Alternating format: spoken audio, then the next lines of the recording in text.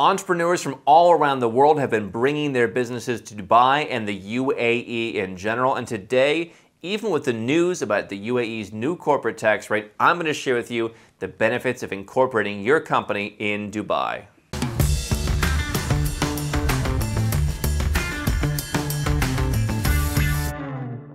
Hi, I'm Andrew Henderson. This is Nomad Capitalist, where we help seven and eight figure entrepreneurs and investors legally go where you're treated best. And if you're new to our channel, definitely check out a lot of our other resources because simply incorporating your company offshore, no matter what the tax rate is, does not necessarily change your tax status. You have to follow what we call the tax friendly quadrant to make sure that you are getting the full benefits of moving your company offshore, whether that's the UAE or anywhere else. So, assuming we're talking about the idea of where does your company pay tax, and everything else is in order, I want to share with you my thoughts as someone who uh, has a company in our org chart in the UAE in a free zone.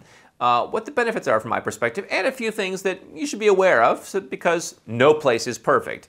Now, there's been news recently that the UAE is imposing a new 9% tax rate on corporations and as with anything, most folks are just looking at the headlines and they're saying, oh my goodness, why would I ever incorporate in the UAE again? The reality is there's going to be kind of a two tier system where companies that do business in the mainland or companies that do business with other mainland entities are going to be subject to this 9% tax from mid 2023. If you are an international business that does your business outside of the UAE and you meet the criteria of the free zones, uh, you will be exempt as of now from this 9% tax. And so the first reason to incorporate in uh, Dubai or in any of the UAE's free zones going forward is that it will be tax free for you and the company. So again, going back to my tax friendly quadrant, you and where you live impacts your company. So if you're the company owner, if you're the employee, if you're the director, you can't just start your company in the UAE, go back and live in uh, Vancouver or in New York or in you know Sydney and say, well, that's great, my company's in the UAE. Yeah, they figured that one out. I know there's some people on YouTube who talk about it, put the company in your brother's name. You know, not really a smart idea. Obviously, there's some situations where you know you, nominee ownership can work, but you know, something so you know, unsophisticated as that is really not the solution. It's not going to work. But if you want a place to move, you can go to the UAE and you, you can run your company, but you don't have to. Okay. Now, uh, the second benefit, if we assume that free zones continue to be tax free, is you've got a simple process in the UAE. Uh, you know, we've had companies in different jurisdictions, and we've been very careful about not having too much work. You know what? For me, I don't mind paying a little bit of something. Now, I don't want to be Elon Musk, who pays $11 billion, and Bernie Sanders shouts that some nurse paid $5,000, but her tax rate was higher. Uh, but I would be willing to pay something.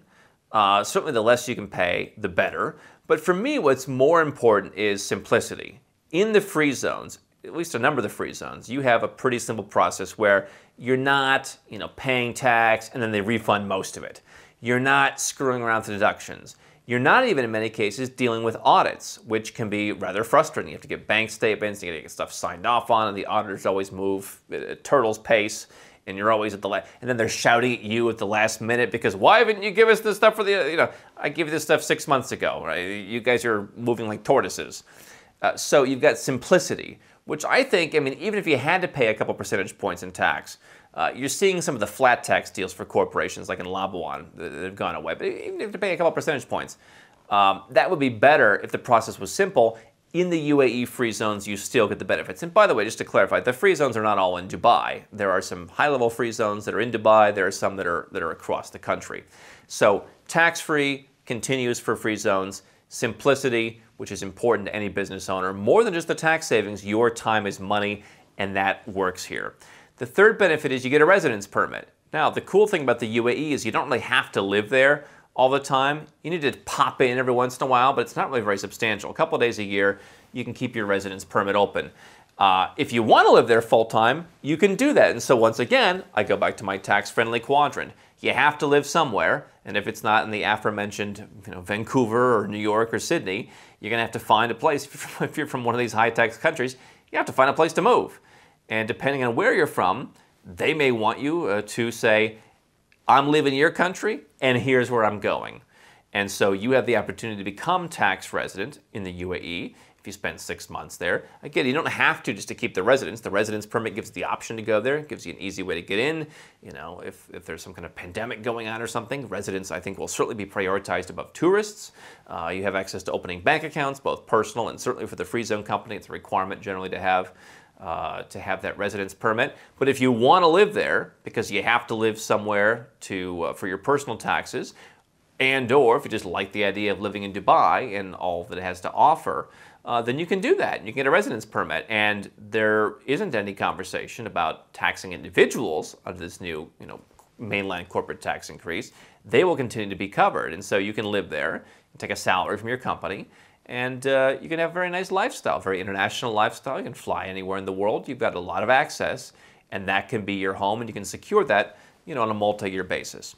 Uh, the fourth thing is, as I mentioned, you can much more easily open personal and business bank accounts. One thing people don't realize is that back during the global financial crisis, the UAE came in and said, you know what, we're going to protect your bank deposits, don't worry.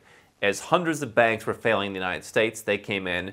You've got a number of rules about how you know, banks in the UAE need to be very substantial. There's a lot of different rules there. But the government came in and said, listen, we, we want to make sure that we've got a good reputation. We're going to, we're to make sure that you're covered. And so you can open bank accounts there. Uh, you've got some pretty good banks there that you can set up accounts. You can do private wealth. Um, you can just do transactional accounts. You can do business. You can do personal. And so certainly I found that UAE banks in terms of running a business are a bit more laborious in terms of paperwork, in terms of like sending invoices. If you're used to banking in, for example, the United States where, where people don't really ask you uh, for a lot of documentation, you're going to have a little bit more difficulty in the UAE. So for, for a company like ours that has an in-house finance team, it's not that difficult. If you're running it all on your own, you know, maybe a little bit difficult. Um, uh, so the banking is good. The fifth reason you might want to consider it is because, again, you don't have to live there.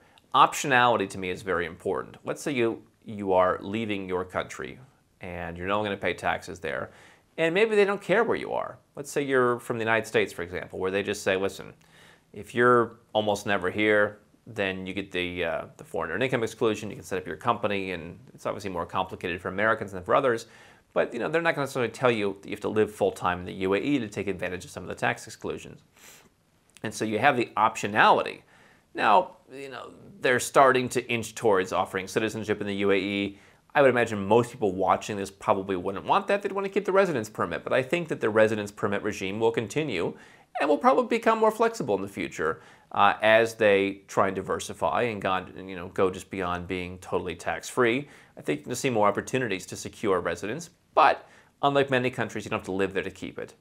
Uh, and the last thing is that you can hire people from everywhere. We've done this. So try doing this in Malta with a low tax rate. Try doing this in even Hong Kong. It's not that easy necessarily. Uh, a lot of tax-friendly countries, you know, where to get the team together.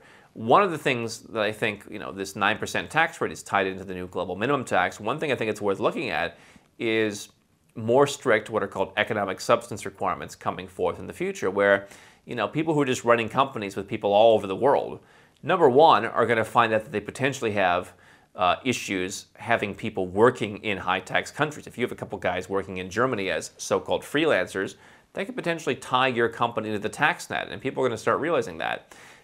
On the flip side, you're going to want to see companies that are benefiting from very low tax rates, such as in a free zone, from having some substance in a country where they're actually claiming they're doing business. And so a country like a Hong Kong, for example, or a territory like Hong Kong, or a country like Malta, where you know you're more limited in who you can bring in. For example, in Malta, it's going to be a lot easier to bring in EU citizens who are potentially more expensive. There's more, the more labor laws are more difficult, etc.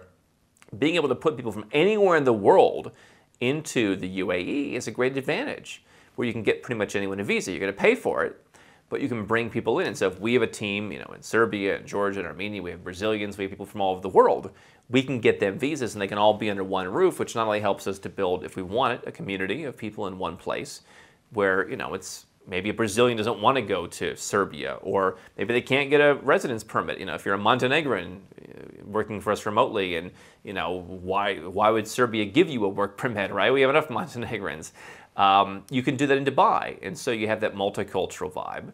Uh, you can give people residence permits, and it's pretty straightforward, and it's it's a selling point for sure.